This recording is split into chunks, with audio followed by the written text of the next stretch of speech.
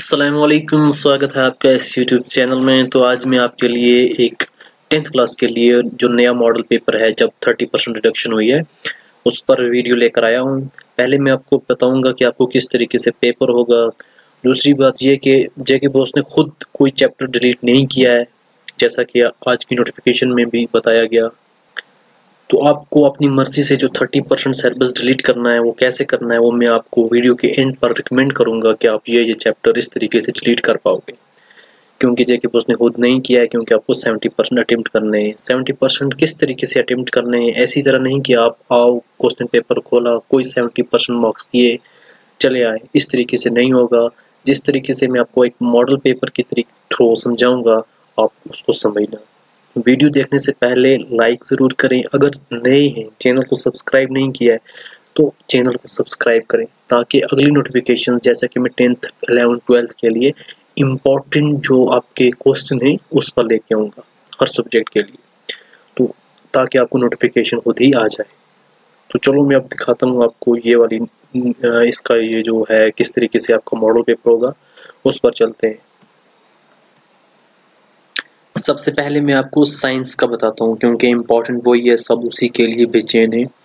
84 marks का paper आपका होता है, आएगा 84 मार्क्स का ही, और उसके तीन सेशन होंगे फिजिक्स केमिस्ट्री बायो ऑलरेडी है।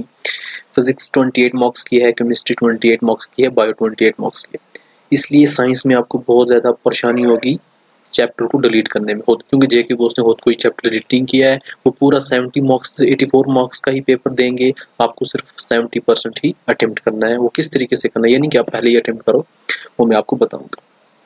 जैसा कि साइंस में आपको और इसका जो आपको किस तरीके से डिलीट करना है, वो आपको पेपर के एंड पर, इस वीडियो के एंड पर ही बताऊँगा मैं सब सब्जेक्ट का। पहले सभी सब्जेक्ट का आपको मैं मॉडल बताता हूँ। आपका पहला सेक्शन तीन लॉन्ग आंसर क्वेश्चन होंगे इंटरनल चॉइस के साथ छः मार्क्स का एक। छः मार्क्स वाले तीन क्वेश्चन आपको सिर्फ़ अटेम्प्ट करना है दो। छः मार्क्स वाले तीन होंगे, दो अटेम्प्ट करने हैं आपको। फिर आपको जो सेकंड सेक्शन होगा नाइन शार्ट आंसर क्वेश्चन होंगे, चार मार्क्स वाले। चार मार्क्स वाले नाइन शार्ट आंसर क्वेश्चन होंगे, जिसमें से आपको सिर्फ़ सात अटेम्प्ट करने हैं सेवन अटेम्प्ट करने हैं। और नाइन ही वेरी शॉर्ट आंसर क्वेश्चन होंगे, दो मार्क्स वाले। ये भी आपको सेवन ही अटेम्प्ट करने हैं। अगर आपका थर्टी परसेंट ऑफ़ ना हुआ होता तो आपको ये पूरे तीन करने पड़ते, ये नौ करने पड़ते, और ये दो मार्क्स वाले भी नौ करने पड़ते। मगर अब छः मार्क्स वाले दो करने हैं नाइन मार्क्स ये फोर मार्क्स वाले सेवन करने हैं टू मार्क्स वाले भी सेवन और जो आपको मल्टीपल चॉइस क्वेश्चन होंगे ट्वेल्व एक मार्क्स का एक क्वेश्चन आपको सिर्फ़ एट अटेम्प्ट करने हैं। बारह में से सॉरी बारह में से आठ नहीं सेवन अटेम्प्ट करने हैं आपको मल्टीपल चॉइस क्वेश्चन तो इसी तरीके से आपका पेपर जो बन जाएगा वो सिक्सटी का बन जाएगा। आपको एटी फोर में से सिक्सटी इस तरीके से अटेम्प्ट करने आपको ये नहीं करना है, पहले सेक्शन से एटीन क्वेश्चन एटीन मार्क्स किए, फिर थर्टी सिक्स किए, बाकी छोड़ दिए होगी हमारे मार्क्स इस तरीके से नहीं करना होगा, आपको सेशन वाइज इस तरीके से करना है। इसी तरीके से मैं आपको अब नेक्स्ट चैप्टर बताऊँगा, जो आपको सिलेबस वो आपको चैप्टर जो डिलीट करने हैं, वो आपको मैं एंड पर बताऊँगा। जैसा कि इंग्लिश में आपको रीडिंग कॉम्प्रहेंशन होती है ट्वेंटी मार्क्स की तो आपको यहाँ पर सिर्फ़ फोर्टीन मार्क्स अटेम्प्ट करने हैं इस सेक्शन में से। जैसा कि सेक्शन में आपको पूछा जाता है पोइट्री से कुछ समरी दी जाती है, उसे आपको क्वेश्चन करने पड़ते हैं, और बाकी पोइट्री के बिना आपको फिलिंग द प्लेन्स होते हैं, बाकी डबल वगैरह, बाकी बहुत सारी चीज़ें आपको जिसमें पूछी जा सकती हैं। दूसरा क्वेश्चन जो आपको होता है, वो भी आपको पोइट्री से ही पूछा जा सकता है, पाँच मार्क्स का, और उसमें आपको स्टेंजा दिया जाता है। उसके बारे में आपको दो मार्क्स के कुछ क्वेश्चन दो पूछे जा जाते हैं। फिर आपको किसी की मीनिंग दिखानी पड़ती है, फिर अनसीन पैसेज आपको रेफर होती है, उसमें आपको कुल आठ क्वेश्चन होते हैं। हाफ़ ऑफ़ मार्क्स के जो फोर मार्क्स बनते हैं, फिर अनसीन एक और होती है, उसमें भी आपको एक मार्क्स के एक क्वेश्चन होता है टोटल पाँच होते हैं। तो टोटल बनते हैं ये बीस मार्क्स सेशन फ़र्स्ट से। तो आपको सिर्फ़ यहाँ से अटेम्प्ट करने हैं फोर्टीन मार्क्स फिर आपका सेक्शन बी होता है राइटिंग स्किल जहाँ से आपको ट्वेंटी मार्क्स दोबारा पूछे जाते हैं और आपको कितने अटेम्प्ट करने हैं? फोर्टीन मार्क्स आपको यहाँ पर भी अटेम्प्ट करने हैं। फोर्टीन मार्क्स में से आपको होता क्या है यहाँ पर राइटिंग स्किल में? यहाँ पर आपको नोटिस बोर्ड के बारे में होता है क्वेश्चन नोट मेकिंग पर होता है और लेटर राइटिंग पर होता है ऐसे पर होता है। यहाँ पर आपको ट्वेंटी मार्क्स के क्वेश्चन होंगे, आपको कोई अटेम्प्ट करने हैं ऑनली फोर्टीन मार्क्स वो आपको अपनी मर्ज़ी से अटेम्प्ट करने हैं। तो यहाँ पर आपको सेक्शन सी जो है थर्टी फाइव मार्क्स का आता है। आपको यहाँ पर अटेम्प्ट करने हैं twenty five marks thirty five में से ट्वेंटी फाइव मार्क्स अटेम्प्ट करने हैं। आपको लिटरेचर से क्वेश्चन होता है। लिटरेचर सेक्शन का होता है आपको इंटरनल चॉइस के साथ ही। तो जैसा कि आपको क्वेश्चन पूछा जाएगा प्रोज पोर्शन से जो पाँच मार्क्स का होगा, फिर आपको क्वेश्चन पूछा जाएगा प्रोज पोर्शन से लिटरेसी डिवाइस के बारे में। फिर आपको स्टेंजा दिया जाएगा, आपको उस पर इनको पोइटिक डिवाइस वगैरह बतानी है। फिर आपको क्वेश्चन पूछा जाएगा स्टेंजा के बारे, पर और वो होगा पोइम से। फिर उसको आपको ट्रांसलेट करना है। फिर आपको दो क्वेश्चन पूछे जाएँगे स्टोरीज शॉर्ट स्टोरीज से climax anti climax character writing of literacy devices पर। आपको एक क्वेश्चन पूछा जाएगा scene situation character humour irony ये प्ले से होगा। पाँच मार्क्स का। ये बनता है थर्टी फाइव मार्क्स आपको अटेम्प्ट करने हैं ट्वेंटी फाइव मार्क्स क्योंकि आपका पेपर तो पूरा हंड्रेड मार्क्स का ही होगा। आपको अटेम्प्ट करने हैं सेवेंटी परसेंट सेक्शन डी आपका ग्रामर है। यहाँ पर ट्वेंटी फाइव मार्क्स के क्वेश्चन होंगे। आपको अटेम्प्ट करने हैं eighteen marks only eighteen marks यहाँ पर आपको proofreading rearranging dialogue narration modals articles paragraph writing में फिर आपको क्वेश्चन होंगे phrases pronouns homophones homonyms tenses class punctuation आपको अटेम्प्ट करने हैं 25 में से 18 मार्क्स मैथ आपके लिए कुछ इस तरीके से होगा। सेक्शन फ़र्स्ट छः एमसीक्यू होंगे, आपको अटेम्प्ट करने पड़ेंगे सिर्फ़ चार। सेक्शन सेकंड जो है आपको दो मार्क्स के तीन क्वेश्चन होंगे, आपको अटेम्प्ट करने पड़ेंगे only two question section third से आपको फोर मार्क्स वाले सिक्स क्वेश्चन होंगे, आपको अटेम्प्ट करने पड़ेंगे ऑनली फोर सेक्शन फोर जो होगा, आपको सिक्स मार्क्स के सिक्स क्वेश्चन होंगे अटेम्प्ट करने पड़ेंगे ऑनली फोर और सेक्शन फाइव से सेवन मार्क्स के चार क्वेश्चन होंगे अटेम्प्ट करने पड़ेंगे ऑनली थ्री क्वेश्चन पेपर पूरा हंड्रेड मार्क्स का होगा, आपको इसी तरीके से सेवेंटी परसेंट अटेम्प्ट करने हैं मीनिंग सेवेंटी मार्क्स तो इसका भी मैं आपको बताऊँगा कि किस तरीके से आपको सेलेबस कट करना है। क्योंकि बोर्ड ने तो सेलेबस कट किया नहीं, हम खुद कट करेंगे। मैं उसी तरीके से आपको बताऊँगा एंड पर। और एक बात याद रखना, मैं आपके लिए एक वीडियो लेके आ रहा हूँ अब, जिसमें मैं आपको इम्पोर्टेंट क्वेश्चन बताऊँगा सभी सब्जेक्ट का। Science math S S T Urdu English इन सब का मैं आपको बताऊँगा। तो अब नेक्स्ट सब्जेक्ट पर जाते हैं। ये है आपका सोशल साइंस तो आप सोशल साइंस में यहाँ पर आप देख सकते हो आपको क्या करना है। जो आपका हिस्ट्री है 25 मार्क्स का होगा जियोग्राफी 25 मार्क्स का पॉलिटिकल साइंस 25 मार्क्स का इकोनॉमिक्स जो है आपका 15 मार्क्स का होगा। आपका पेपर जो है वो 90 मार्क्स का होगा क्योंकि 10 मार्क्स जो आपको हैं इंटरनल असेसमेंट है, इसके पूरे 10 मार्क्स ही होंगे।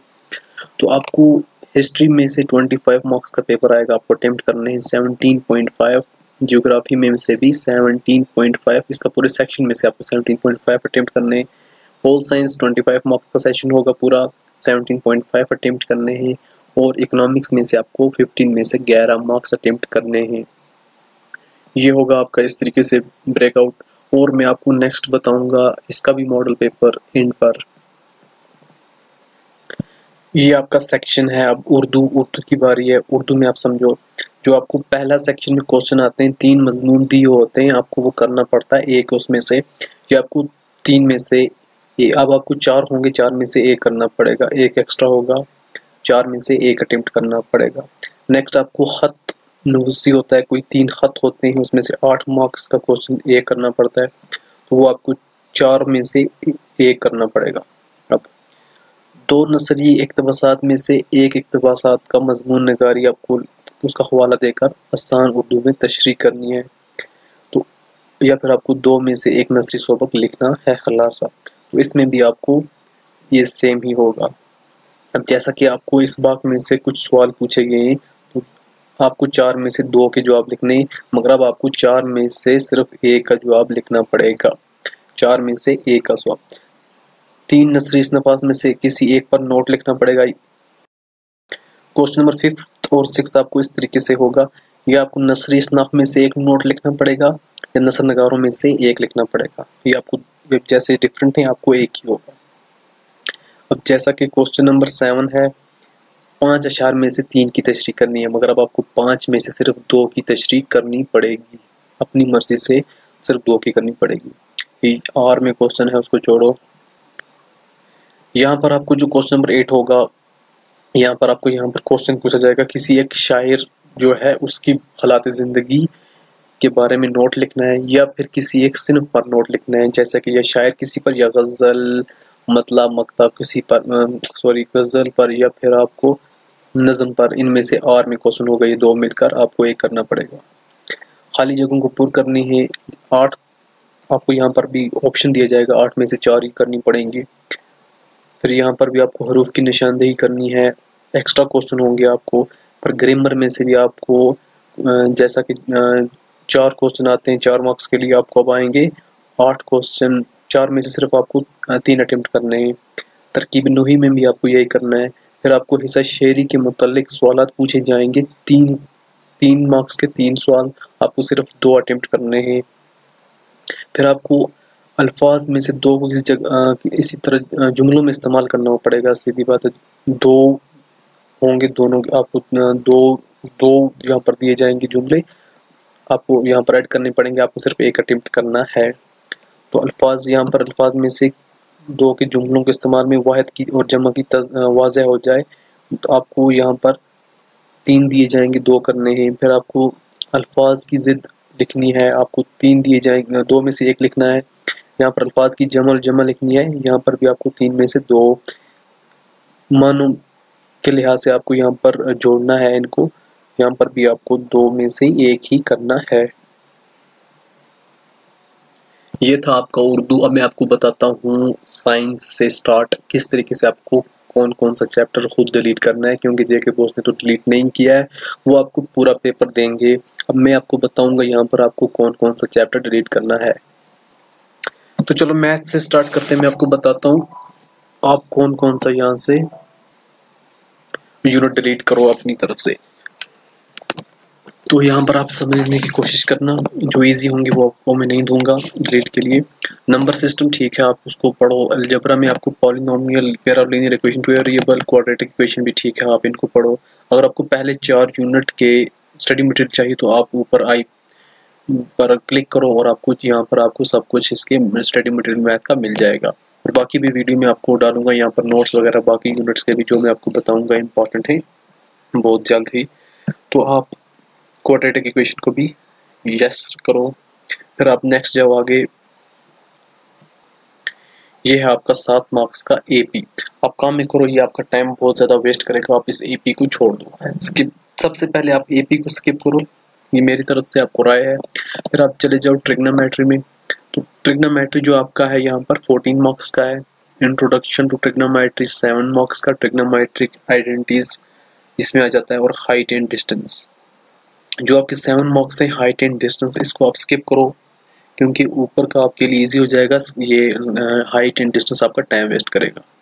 तो आप अब नीचे जाओ कोऑर्डिनेट ज्योमेट्री में आठ मार्क्स ये ईजी है, मैं आपको खुद पढ़ाऊँगा यहाँ पर। ज्योमेट्री जो है आपकी, वो भी इजी है ट्रेंगल्स जिसमें है नाइन मार्क्स के इजी है, मैं खुद समझाऊँगा। फिर जो आपका सर्कल है, आप सर्कल को भी साथ में रखो सिक्स मार्क्स का है कंस्ट्रक्शन सात मार्क्स का है, आप इसको भी साथ में रखो टिप्स में वो दूँगा आपको, ये भी इजी है। ये जो आपके मेंसुरेशन में है एरिया रिलेटेड टू सर्कल चार मार्क्स का है, आप इसको स्किप करो, इसको आप छोड़ दो, मत पढ़ो, और साथ ही में सरफेस एरिया एंड वॉल्यूम जो है, आप इसको भी स्किप करो, आप इसको भी मत पढ़ो, क्योंकि ये आपका टाइम बहुत ज़्यादा वेस्ट करेगा, आपको इतना टाइम है नहीं अब। तो आपका यहाँ पर स्टेटिस्टिक है, आप इसको पढ़ो और आपका प्रोबेबिलिटी जो है, इसको आप छोड़ दो, इसको रहने दो, मत पढ़ो। ये आपके लिए बहुत ईजी रहेगा। तो इस तरीके से आपके 29 वॉक्स डिलीट हो गए हैं। तो अब जाता हूँ मैं आपको नेक्स्ट जो सब्जेक्ट है, उस पर, उसमें आपको बताऊँगा क्या करना है।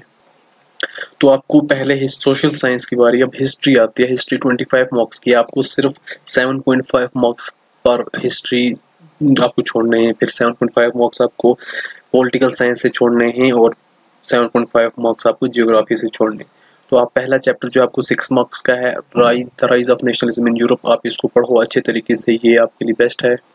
जो आपका नेशनलिज्म इन इंडिया है, चार मार्क्स का, आप इसको भी पढ़ो, ये आपके लिए बेस्ट है। और लाइवलीहुड इकोनॉमिक सोसाइटीज़ वगैरह, ये आपको बहुत ज़्यादा लिंक है है इजी लिंक है पाँच मार्क्स यहाँ पर आपको तीसरा और चौथा जो है the making of a global world the age of industrialisation दोनों नहीं पढ़ने हैं, ये बात याद रखना। सेक्शन थर्ड में ये वाला चैप्टर आप पढ़ो छः मार्क्स का है print culture and modern world इसमें सब कुछ। और सेक्शन फोर जो है आपका यहाँ पर आप चार मार्क्स का ये है, इसको स्किप करो। पाँच मार्क्स वो हुए, चार ये हुए, फिर भी नाइन मार्क्स हो गए करने तो सेवन पॉइंट फाइव मार्क्स थे। तो अब सेकंड सेक्शन जो है हमारा, वो है जियोग्राफिया यहाँ पर भी सेवन पॉइंट फाइव मार्क्स हमें कट करने तो जैसा कि हमारा पहला यूनिट है रिसोर्सेज एंड डेवलपमेंट ये आपको आठ मार्क्स का है। आप काम में कीजिए, इस आठ मार्क्स को पूरा तैयार कीजिए। फिर आपको फॉरेस्ट एंड वाइल्ड लाइफ पाँच मार्क्स का है। आप इसको भी पूरा पढ़ें। सॉरी पाँच मार्क्स का नहीं है। ये आपको पहला और दूसरा मिलकर बनते हैं आठ मार्क्स के, आप दोनों पढ़ो। फिर आपको वाटर रिसोर्स है, आप इसको स्किप करो। ये उसी का पार्ट है, मगर आप इसको स्किप कर सकते हो वाटर रिसोर्सेज को।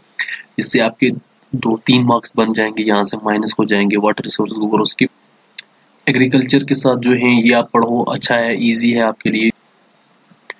मिनरल्स एनर्जी रिसोर्स इसको भी आप पढ़ो, तीन मार्क्स का है मैन्युफैक्चरिंग इंडस्ट्रीज़ ये भी पढ़ो आप, तीन मार्क्स का है।